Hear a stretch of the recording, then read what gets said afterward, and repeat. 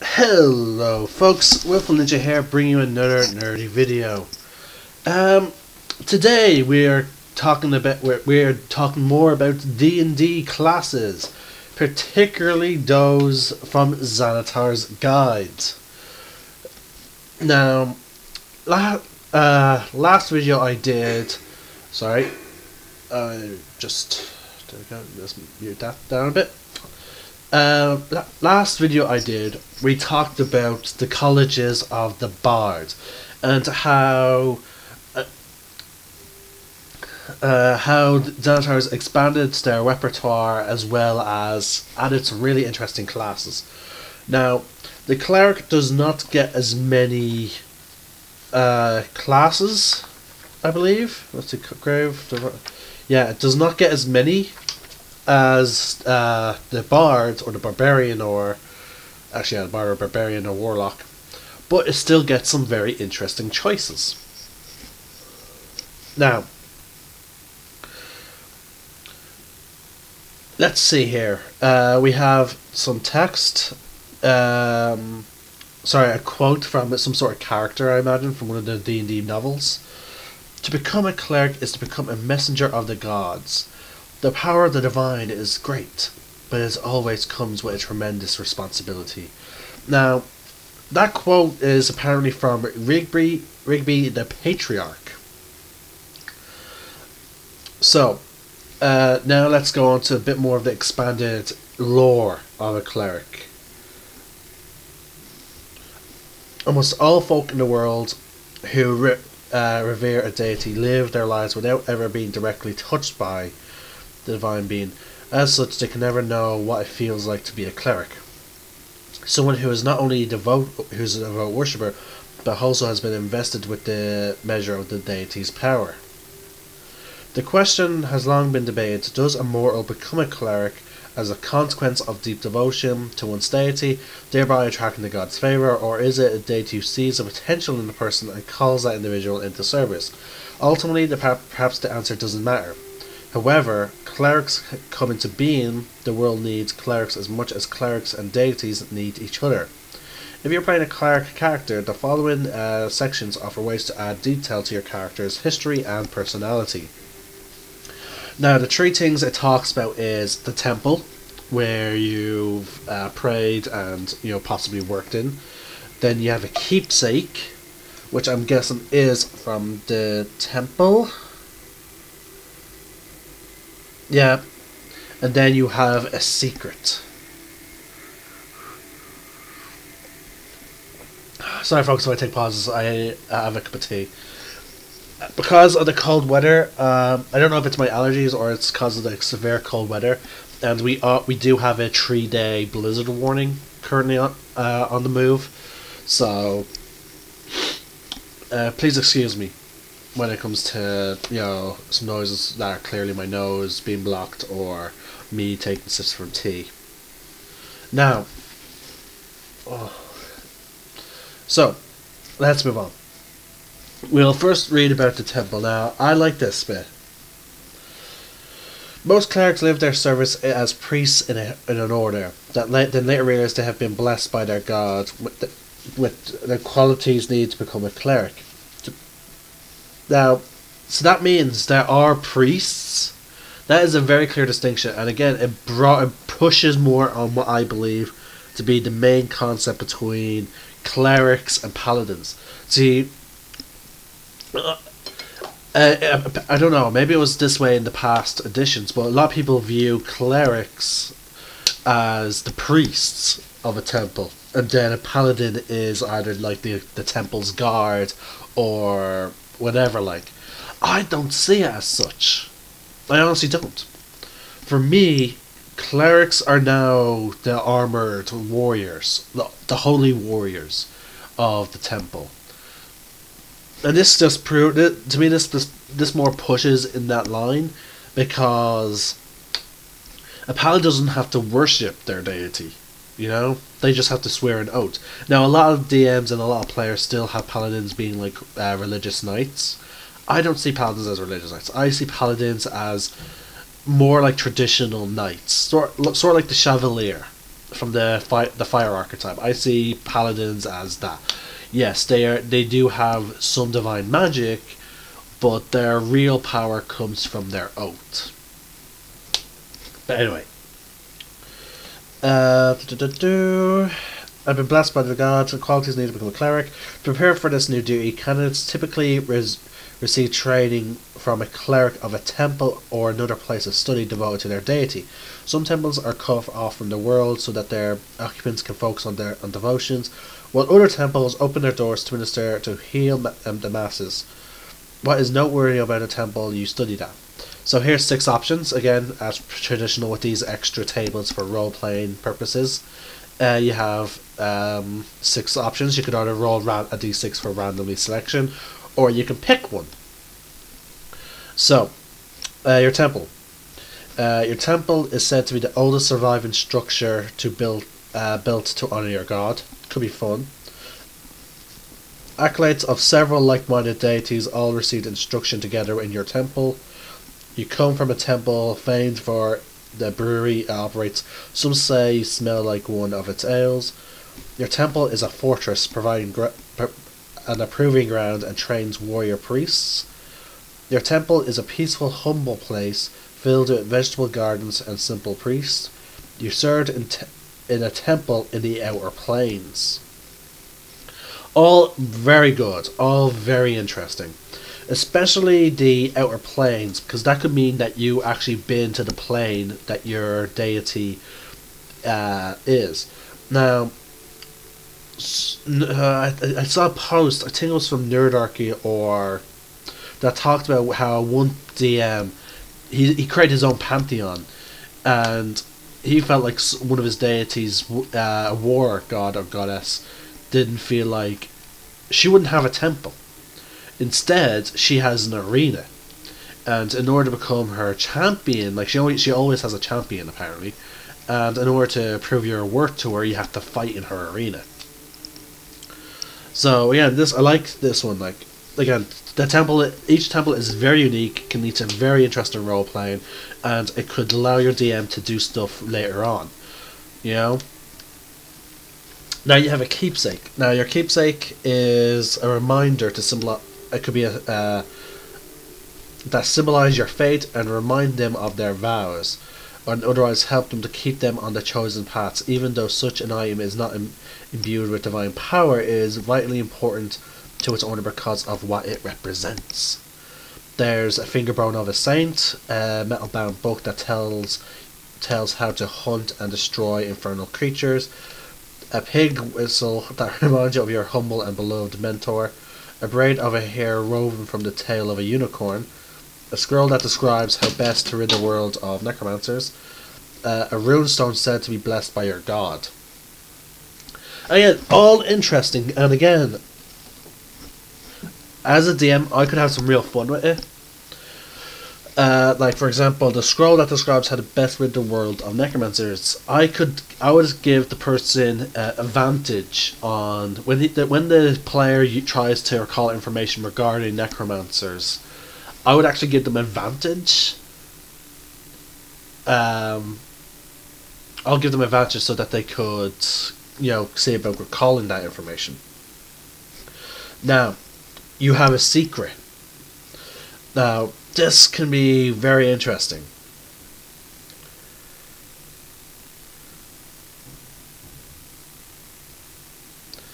Now, let's see here. In terms of secrets, an imp offers you counsel. You try to ignore the creature, but sometimes its advice is helpful. You believe that in the final analysis, the gods are nothing more than ultra powerful mortal creatures. You acknowledge the power of the gods, but you think that most events are depicted by pure chance. Even though you can work divine magic, you have nearly you have never truly felt the presence of the divine essence within you. You are plagued by nightmares that you believe are sent by your god as punishment for some unknown transgression. In times of despair, you feel that you are but a plaything of the gods, and you resent their remoteness. Again, very interesting things, and they can all lead to creating like a really interesting character. Um, like wow. Like, I like how there is none that like you don't. eh, I like how all of them keep in line with the concept of you know they're powerful, and that's why they're worshipped. Like even the one where you believe that they're just ultra powerful mortals, you don't, um, you know, mess with them. You just, you know, you just keep on going. Now there is a sidebar, folks. That's what it says. It's titled "Serving a Pantheon, Philosophy, or Force." A typically cleric is an ordained servant of a particular god and chooses divine uh, and chooses a divine domain associated with that deity. A cleric's, cleric's magic flows from the gods or the god's sacred realm, and often a cleric bears a holy symbol that represents that divinity. Some clerics, especially in the world of Eberron, serve a, a whole pantheon rather than a single deity. In certain campaigns, a cleric might instead serve a cosmic force such as life or death, a philosophy or concept such as love and peace, or one of the nine alignments. Chapter 1 of the Dungeon Master's Guide explores options like these in, the second gods of your world. Talk to your DM about the divine options available in your campaign. Why are there gods, pantheons, philosophies, or cosmic forces? Whatever being or being or thing your cleric ends up serving, choose a divine domain that is appropriate for it. And if it doesn't uh, have a holy symbol, work with your DM to design one. The, cleric's class features often refer to your deity. If you are devoted to a pantheon, cosmic force, or philosophy, your cleric features will work for you as written. Think of the references to a god as a reference to the divine thing you serve that gives you your magic. So even if in the D and D game, if there's no gods in a particular DM's world, that I like how that that clears up. Like just because there's no gods exactly, doesn't mean you don't draw on nothing. You know, there is some sort of energy that your character draws on. And I like that. But okay, let's get into the domains. I believe there's only two domains with this. Yes, there is, folks. There's the two domains, Forge and Grave. Each very interesting. Let's get into it. The gods of the Forge are patrons of artisans who work with metal, from the humble blacksmith who keeps a village in horseshoes and plough blades to the mighty elf artisan who, whose diamond-tipped arrows of mithril have felled demon lords. The gods of the Forge teach that with patience and hard work, even the most int- intractable metal can be transformed from a lump of ore to a beautiful wrought object. Clerics of these deities search for objects lost to the forces of darkness, liberate mines overrun by orcs, and uncover rare and wondrous uh, materials necessary to create potent magical items. Followers of these gods take great pride in their work, and they are willing to craft and use heavy armor and powerful weapons to protect them. Deities of this domain include Gond, Reorx, Onatar, Moradin, Hephaestus, and uh, thing. Again, that is a collection of their collection of gods, as similar to what happens in the player's handbook. Uh, Celtic, Greek, Roman, you know, etc. Now, you have some new do- domain uh, domain spells. Now, remember, folks, domain spells do not count towards your spells known, and you always have them prepared. Always. Uh, identify, uh, Searing Smite at first level, at third level, Heat Metal and Magic Weapon, at fifth level, Elemental Weapon, Protection from Energy, seventh level, Fabricate Wall of Fire. At ninth level, Animate Objects, Creation. Now, folks, some of these spells were added in Xanathar's Guide, so do not worry if you cannot find them in your player's handbook. Just buy Xanathar's Guide and you will find the spell. You also get bonus proficiency as a forged domain. You get you gain proficiency in heavy armor and smith's tools when you pick this domain. You also have a blessing of the forge at level one. At first level, you gain the ability to imbue magic into a weapon or armor. At the end of a long rest, you can touch one non-magical object that is a suit of armor or a simple or martial weapon. Until the end of your next long rest, or until you die, the object becomes magic, granting a plus one bonus to its AC or plus one bonus to attack and damage rolls if it's a weapon. Once you use this feature, you cannot do so again until you finish a long rest. That is helpful, mostly to uh, the concept of like especially early levels. Let's face it, early levels, especially like one and around that, like one to five maybe. Plus one gear is not going to be very common, and uh, so you're not everyone in your party is going to have one. So at least this way, when whoever doesn't have one, you can still you know give them some benefits. Now again, the only problem is you can only do it once, so only one person can benefit. And second level, you have uh, Channel Divinity, Artisan's Blessing. You conduct an hour long ritual that crafts a non magical item that must include some metal, a simple uh, or martial weapon, a suit of armor, 10 pieces of ammunition, a set of tools, or another metal object. Uh, see Chapter 5 for equipment in the player's handbook, for examples. The creation is completed at the end of the hour, coalescing in an unoccupied space of your choice on the surface within 5 feet of you. The tin you create can be something that is worth no more than 100 gold pieces. As part of the rit- this ritual, you must lay one out. You must lay out metal, which can include coins with a value equal to its creation. The, uh, the metal intricately coalesces and transforms into the creation at the ritual's end, magically forming even non-magical parts of the creation. Sorry, non-metal parts of the creation. The metal can create a duplicate of a non-magical item that contains metal, such as a key, if you possess the original during the ritual. Which is again, this is sort of cool. Uh, sorry, hold on.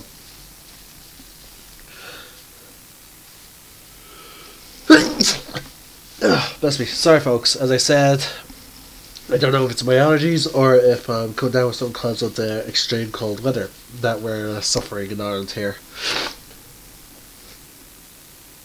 Ugh. Okay, uh, sixth level. You have the feature Soul of the Forge. Start at sixth level, your Mastery of the Forge grants you special abilities. You gain resistance to fire damage, and while you're wearing heavy armor, you get a plus one bonus to AC. Again, I like how it doesn't even state magical armor. It just says like any uh, uh, heavy armor. So if you have like plate armor, that's plus three. That's essentially instead of getting a, an AC of eighteen, you're now getting an AC of uh, say plus three plate armor. That gives you AC of twenty one. Plus this, that gets you an AC of twenty. Oh god, I'm blanking. Twenty two. And then if you equip a shield, you get an AC of 24. uh, four. There you go, folks. And I don't know if clerics have the shield spell, and if they do, that goes up to that can get bumped up to twenty nine. Uh, you do have a spell called Shield of Faith, I believe, which does bump your AC, so I'm not sure. But basically, you're a Forge the main cleric tank. Uh, 8 level, you have Divine Strike. At 8 level, you gain the ability to infuse your weapon strikes with the fiery power of the Forge. Once on each of your turns, when you hit a creature with a weapon attack, it can cause the attack to deal an extra 1d8 fire damage to the target. When you reach level 14, the, the extra damage increases to 2d8. Now notice that it says weapon attack, so even your bow, even if you have like a bow or whatever, if you're an elf like for example, that's still like very good damage. So, uh, last your last feature is called Saint of the Forge. At level 17, you're blessed with affinity for fire and metal becomes more powerful. You gain immunity to fire damage, and while wearing heavy armor, you have resistance to bludgeoning, uh, piercing, and slashing damage from non magical weapons. Now, I'm personally not too sure how effective that would be, just due to the fact that around level 17, pretty much nearly every enemy is going to have like a magical weapon. So, I'm not too sure how effective that is. But again, it'd be interesting to find out. Okay, last but not least is the Grave Domain. again, folks, this is a, not a very long video because, as I said, this only gives you two domains. Gods of the grave watch over the line between life and death. To the, the deities of death and the afterlife are fundament, fundamental uh, parts of the multiverse. To desecrate the peace of the dead is an abomination. Deities of the grave include Kelemvor, Ouijas, the ancestral spirits of the Undying Court, Hades, Anubis, and Osiris. Followers of these deities seek out seek to put wandering spirits to rest, destroy undead, and ease the suffering of the dying. Their magic also allows them to stave off death for a time, particularly for a person who still has some great work to accomplish in the world. This is a delay of debt, not denial of it, for debt will eventually get its due.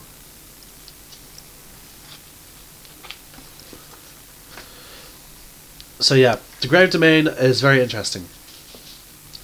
It's it get it you're against uh sorry, hold on.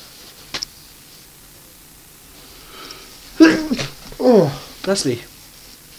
You're you're against zombies, necromancers and the like. But you're also against people dying prematurely. And you will you will extend their life if need be. But you will not give them immortality.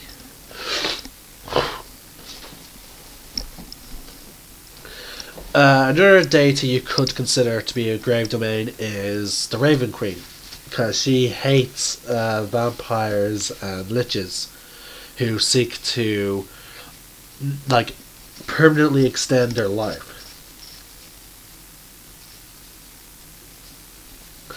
Now, I play an interesting necromancer who has the same type of philosophy. He does not wish to extend his life. He purely seeks to serve the Raven Queen, but he understands that if he goes up against a vampire or a necromancer, he's going to be greatly outnumbered. So, as such, he decided because he was part of a cult of Vecna, which was a cult of necromancers, he is going to use the, the magic that they taught him to, against them. So if he, so basically, they send undead after him, he will kill the undead and raise them to um, even the odds, or he will uh, go after bandits or people who harm the innocent, and then raise their bodies as uh, punishment, and use them against other evil beings. So, it's again, it's very interesting. Now, your domain spells for the grave domain is uh, first level Bane and False Life. Third level Gentle Repose and Ray of Enfeeblement. Fifth level Revivify and Vampiric Touch. Seventh level Blight and Death Ward. Ninth Anti Life Shell and Raise Dead. Again, I find it interesting, like, it's a lot of necromantic energy, and again, it's understandable because you're you're putting so much of your power, your the main source of your power is in and around death. So the chronic energy is most likely the energy you're going to emanate. Now, uh, Circle of Mortality is your first feature. You gain the ability to manipulate the, the line between life and death. When you would normally roll one or more dice to restore hit points with a spell to a creature uh, zero hit points, you instead use the highest number possible for each dice. In addition, you learn Spare the Dying cantrip, which doesn't count towards the number of cleric cantrips you know. For you, it's range of 30 feet and you can cast it as a bonus action. I like how this adds more to the healer aspects or like keeping people active in the battlefield aspect of clerics. Oh, someone's uh, is is doing their death saving throws. Boom! I'll heal you, but it won't be like I won't just heal you for a low amount. You're getting the maximum points. Or if I don't have any spells, spare the dying at a range instead of having to touch you. Very good. Now, you get Eyes of the Grave also at first level. You gain the ability to occasionally sense the presence of the undead, whose existence is an insult to the natural cycle of life. As an action, you can open your awareness to magically detect undead. Until the end of your next turn, you know the location of any undead within 60 feet of you that isn't behind total cover and that isn't protected by divination magic. This sense doesn't tell you anything about the creature's capabilities or identity. You can use this feature a, a, uh, number of times equal to your wisdom modifier and you regain all expended uses when you finish a long rest. Because of the amount of ways you cannot uh, use it, I don't know how I feel about it.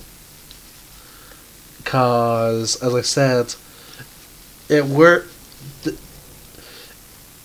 total cover, so which means a, uh, a num- if there's a certain amount of trees in your way, then yeah, they'll get total cover. If there's like uh, if you if you're in a crypt, you know they will have total cover. So I'm a bit yeah on eyes of the grave.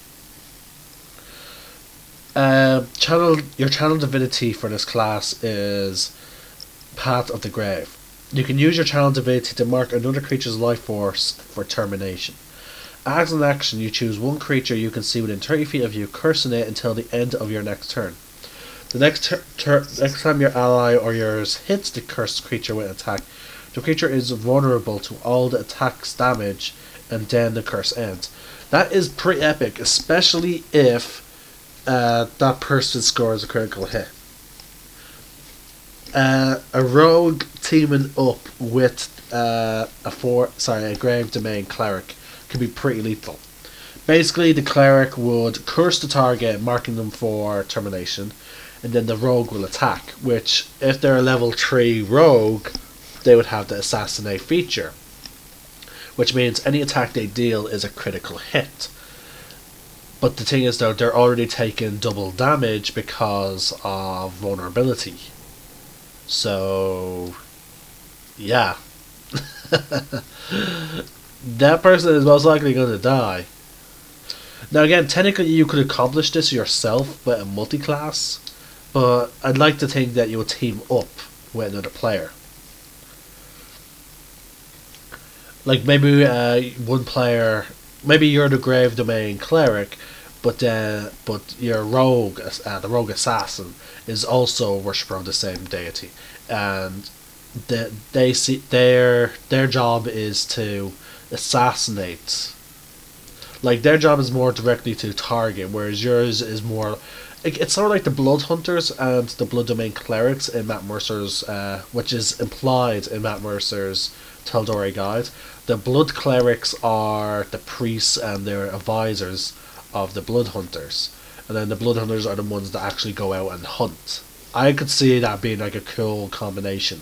Like every blood cleric has like an assassin. Sorry, every grave domain a cleric has like an, a person who will help carry out the wishes of their deity. Like the the cleric is just a guide for these uh, religious warriors. Again, that's just my thoughts on it. Like again, I, I feel like it could be a cool dynamic between two players.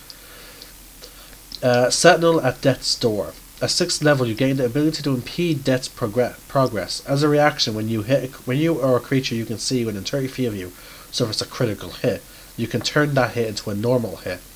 Any effects crit- triggered by the critical hit are cancelled. So again, if you get hit by a Vorpal Sword, you don't automatically die. You can use this feature equal uh, number of times equal to your Wisdom modifier. Uh, you gain all expended uses when you finish a long rest. Potent Spellcaster. Starting at 8th level, you add your Wisdom modifier to the damage you deal with any cleric cantrip. Last but not least, Keeper of Souls, level 17. You can seize you can seize a trace of vitality from a parting soul and use it to heal the living. When an enemy you can see with you can see uh, dies within 60 feet of you, you and one creature of your choice that is within 60 feet of you regains hit points equal to the enemy's number of hit dice. You can use this feature only if you aren't incapacitated. Once you use this feature, you can't do so again until the start of your next turn. That is the Grave Domain Cleric, folks. For my character, if I was to play a cleric, um, I'm still torn between. I'm now actually torn between uh, war and grave. Because as I said, with war, there's some cool deities that you can worship. Uh, but there's also really cool uh, things with the grave domain. So I don't know. It will, be, it will have to be a toss up. If someone was willing to do the rogue thing with me, then I would probably go grave domain. No, that'll probably uh, you for grave domain. But yeah, folks, that is it. Uh, not long of a video. Uh, next, after cleric, is druid, and then after druid, that that was fighter, and we did uh, then we did monk. Okay, so yeah, we're we're definitely going on to paladin next after druid, folks. It seems about time too. Am I right? We've been doing all these. We've been doing all this catch up work with Xanathar's guides and now we're finally getting to it. Oh. And hopefully by that time, folks, I'll be much better. I'll try and do the Druid video tomorrow. But if I am coming down with some, I'd probably want to uh, rest, so that way I'm ready for the D&D game that I broadcast every Friday. Um, remember, folks, if you liked this video, hit the like button. If you want to comment, comment. I will make sure I reply. And if you want to always be notified of new D&D videos, please subscribe. And this is Wolf Ninja signing out.